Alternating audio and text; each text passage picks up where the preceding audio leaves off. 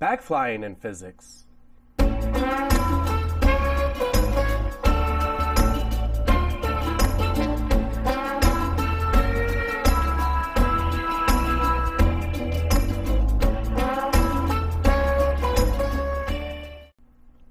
Hello, everyone. Welcome to another episode of Up in the Air with me, Skydiver Tanner. This is episode number 11.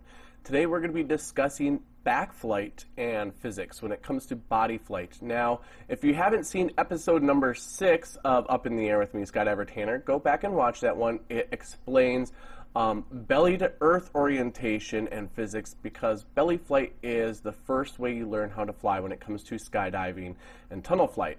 So today we'll be discussing the backflying portion of it. Now, if you don't remember, I have my friend Woody, and I have Woody currently in the belly to earth orientation, which is the stable way for flying. We want to start talking about back flying. Now, obviously, you don't want to back fly like this. This is not a very stable position. This is going to cause a lot of issues. And so, what we do with back flying is we're going to change the body a little bit. We're going to flatten out the back. We're going to bring in the knees up. And we're going to point the feet up in the air like this. So now it's a little bit different. The upper body's still exactly the same. We still have that nice 90 degrees with our arms. And with our legs, we're going to have a nice 90 degrees going on. You can also, even if you want, bring the hands and the elbows in. Woody's not very flexible, but you could kind of bring them in a little bit so it's kind of like a diamond shape over your head. But the reason why now we want to fly like this versus how we do on our belly is because as the air comes up, it's going to hit our legs, it's going to hit our back, and it's going to hit our arms. And this is what's going to create the surface area for us to start flying.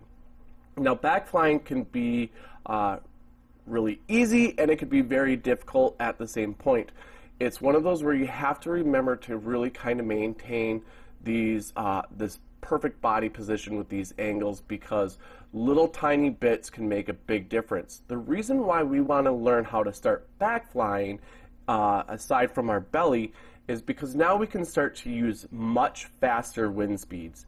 You can fly on your back at a fairly low wind speed, the same as what you fly on your belly, um, but also at a very fast wind speed. So if you want to start learning how to do a heads up or a sit fly or a heads down fly, um, if you have to bail from those positions, you go to your back because the back is the safest place you can be at those high wind speeds.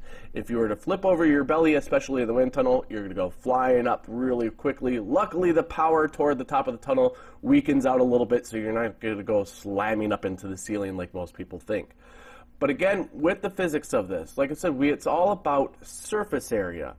So what we're going to do while we start flying is if we want to start to turn when we're flying, you can do something very, very basic as even twist the feet a little bit.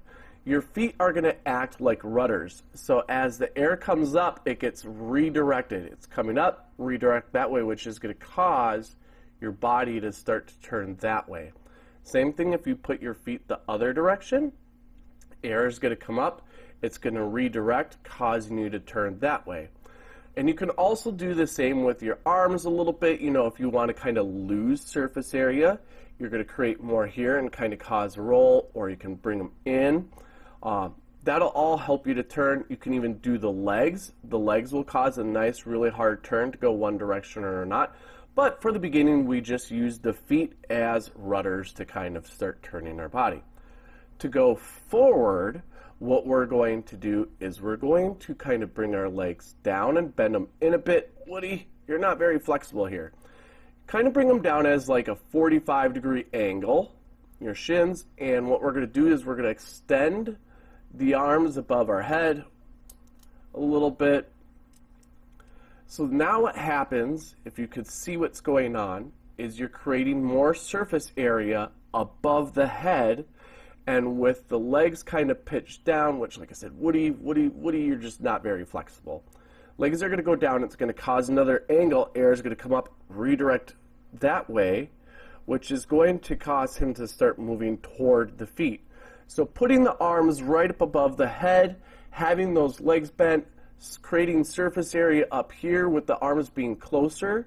and the legs being bent gives you that drive forward towards your feet.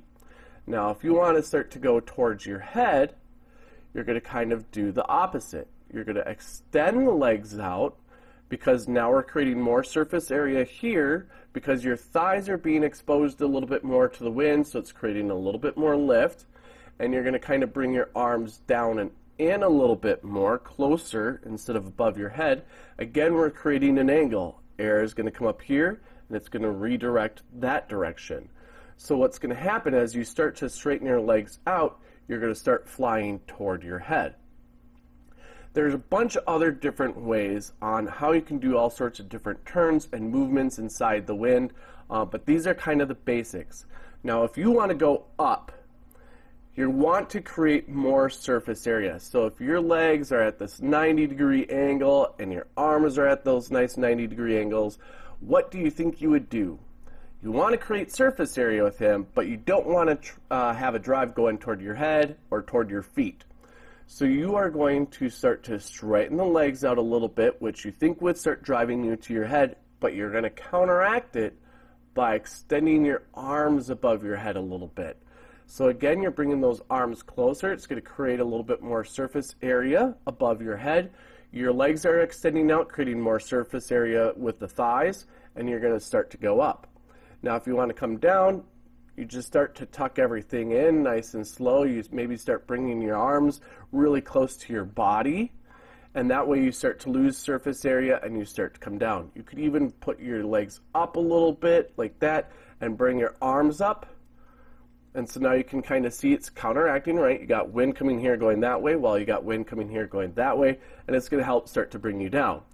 Now everything happens really quickly inside the wind tunnel or inside the sky with all these little movements. If you don't do things very correctly, it could cause a lot of issues.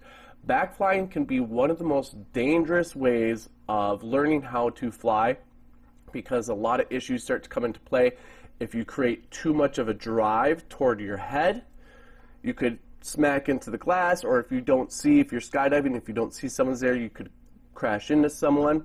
You're not seeing down, so if there's someone below you and you try to get smaller surface area to drop down to them, you could be dropping down on top of someone. And then same with the thing with the feet.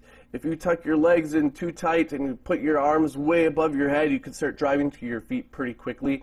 Now I'm going to show a video right here of me practicing uh, some different types of transitions of going from your belly to your back and uh, also back to belly because those are how do you get from those two orientations and one of them is over the head which is by far the most dangerous ways of doing a transition um, from belly to back and back to belly so take a look at this video, have a little bit of a laugh of it, and I'll be right back.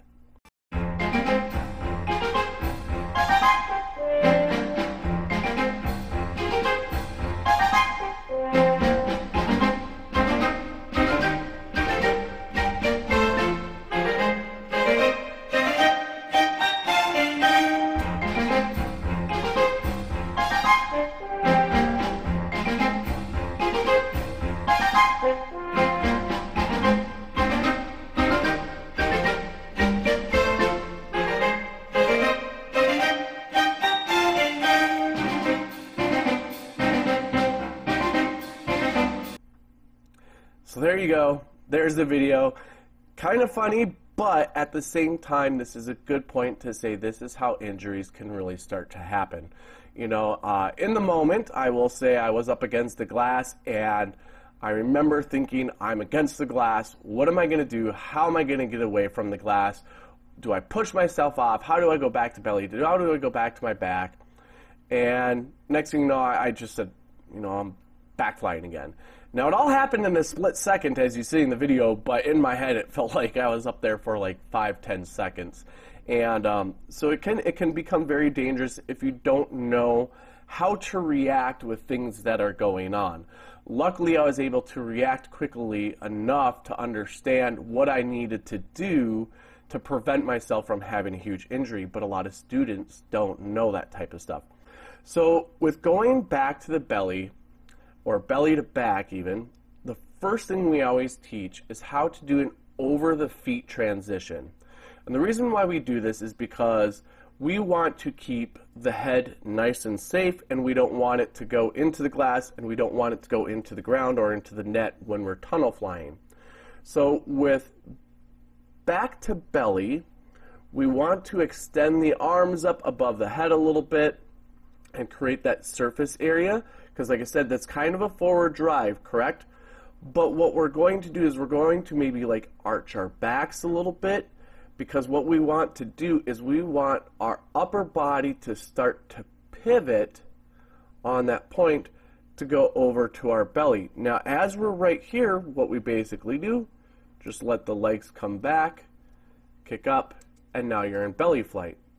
And it's going to be the same thing when you want to go from belly to back. We're going to start to stretch our arms above our head and we're going to start to create that lift in front of us as we start to transition over, we bring our legs in almost as if we're sitting in a chair, and once we get to our back, we start to bring our arms down. So that's kind of how we do our over the feet transitions. It's kind of hard to do with Woody here. I'll again play some video of me flying inside the wind tunnel. You'll have to excuse the clip I have. Um, it was me during Halloween wearing a morph suit. I wanted to be the nameless instructor, no face, no nothing. So it looks a little bit goofy, but you can kind of see how that transition happens. The other way we could go from our back to belly or belly to back is we can do a barrel roll. And what we basically would do is in skydiving, if you are on your belly, they kind of tell you to just kind of uh, reach across with an arm. If you tuck an arm down and away, you're creating less surface area over here, so your body starts to kind of naturally roll. And as you get to your back, your legs go into that back flying position, and there you're back flying. The other thing you could do is you could kind of crisscross the legs to kind of create a different change in the wind and angles again. And you can also stretch your arms above your head like you're trying to grab a ball and simply rotate yourself and get back to your belly. It's really hard to do with Woody, better to do if you guys see it uh, on video. And if you're out in person, then we teach you, uh, we do like a dirt diving. If you haven't seen episode number nine, I believe it is, on safety stuff, so you'll find out what dirt diving is there. Um, but we dirt dive it usually on the ground so you can kind of get a feel for it while you're in the wind. But again, that's a very good, safe way to learn how to start getting into high speed flight and how the physics behind it all works. The biggest thing to just remember is angles. Everything has to deal with angles. If you uh, simply think about where the wind is coming from and how physics works, like I said, you're sticking that leg out, you got wind coming here, it's going to direct that way, it's going to cause you to drive toward uh, whatever direction. So everything is about angles and thinking about where your body needs to be. And if you are good at thinking about that, you're going to be really well at back flying or body flight inside the wind tunnel as it is. Now, other orientations, it is a little bit difficult. Yes, it's still all about angles, and you think about that, but you're also, um, I don't want to say fighting 130 plus mile per hour winds, but you know, it's it is a unique feeling, and, and tiny, tiny little movements make a huge deal when those winds are extremely fast like that. Like I said, for turning, just your feet, just your feet alone can cause that turn while you're on your back. Now, one of the other things we might do with really fast wind speeds when we're back flying, we might stick a leg straight up in the air and have the other one kind of in a little bit. This creates a little bit less surface area for the wind to be taking us up. Um, like I said, fast wind speeds. So if you've got a lot going on, you want the air to kind of slip by you. You still got surface area here to help lift you up. You might bring your arms in a little bit closer to your body so that way you're not creating so much surface area out on the sides. Um, and you could still steer with your foot. You can even steer with this upper leg that's sticking up. Uh, but it's a real safe way because if you're at a very fast wind speed, 130 plus miles per hour, uh, I don't know what that is in kilometers per hour. You know, Americans we we we don't learn other things. Um, but if you're fast wind speed and you have both of them down, it's going to be really hard for you to come down. You could stick both legs up in the air, you know, and, and basically do this this kind of tuck type thing. Um, but you're not going to have as much control. So usually we'll stick one leg straight up, have the other leg kind of bent down, and use that for steering and for lift. Anyways, hope this kind of helped you guys learn some different things on different ways of body flight aside from just the belly flying that I showed before. Shows how the physics and everything plays out inside the wind tunnel or even in the sky with skydiving. It's a lot to think about, but like I said, if you get the concept of it, if you start to understand it, you pick it up fairly quickly. There's a lot of other movements that comes with backflying that I didn't get into. It's a little bit more advanced and I think we should probably bring up here. Um, but I'm going to play some videos again uh, for you guys to watch a little bit with different uh, orientations of the way you can body fly, whether skydiving or inside the wind tunnel. Thank you guys for stopping by today. Uh, don't forget to hit that like button. If you are new to this channel, please subscribe and hit the bell notification. I also have links in the description if you would like to become a Patreon. I will be posting videos strictly for my Patreons. I do have one in there right now. Thank you to Microraptor for being a Patreon. I also have a link to my PayPal or Venmo if you'd like to donate to this channel uh, to kind of help get new equipment or to advance things a little bit.